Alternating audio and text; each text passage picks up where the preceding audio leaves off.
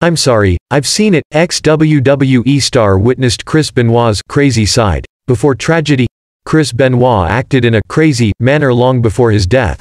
According to former WWE superstar Chuck Palumbo, between June 22 to 24, 2007, Benoit murdered his wife Nancy and seven-year-old son Daniel before killing himself. At the time, the Canadian was widely viewed as one of WWE's most reliable and respected wrestlers. In an interview on Monty and the Pharaoh, Palumbo recalled how he witnessed Benoit's wacky behavior outside of the ring.